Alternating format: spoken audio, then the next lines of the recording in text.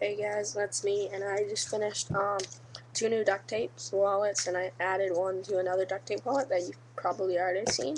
So um, first off, I finished this. It's a woven. Uh, I love making woven wallets, by the way.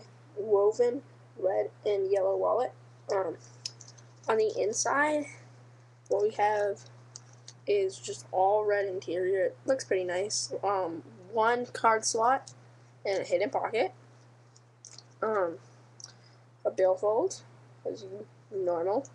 Um, and that's it. It's a simple wallet. Uh, as I said, I love making these type of wallets. Uh, I'm getting good at it really quick. So, uh, another one that I just finished, literally like two minutes ago, is a Cookie Monster wallet. It's um, it has Cookie Monster face, as you probably know.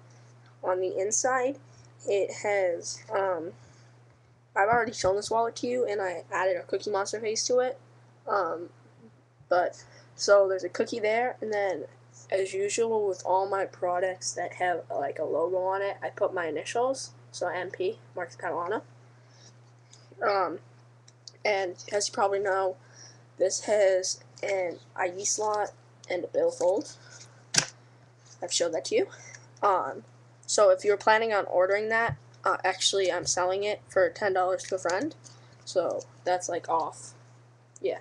Um, and then my personal wallet, all I did today, I just added an ID slot with my school picture in it. Um, so you've probably seen this. It has two hidden pockets, um, a card slot, and now it has an ID slot. And the billfold, which with some newly made cash. So, um, if anyone wants to buy that, I will be selling that for $10 also. So, thanks.